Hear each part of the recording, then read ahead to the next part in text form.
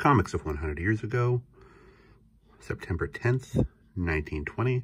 It's Krazy Kat by Herriman. And here we have two ants walking along. Krazy is looking at them, covering his mouth. And Ignatz stands behind Krazy. Krazy says, Look, Ignatz, who is that with little Ambrose ant? That's his uncle, says Ignatz. Uncle, says Krazy in the next panel. That's what I said. Uncle, says Ignatz as he walks away. Third panel, Krazy and Officer Pup are talking, and Krazy says, Tell me, Officer Pup, can an aunt be a uncle? Of course not. Whoever heard of an aunt being an uncle? Says Officer Pup. And in the final panel, Krazy peeks out from behind a tree and says, Ha ha ha, little smarty, you were fibbing at me, wasn't you? Making Ignatz jump. The end.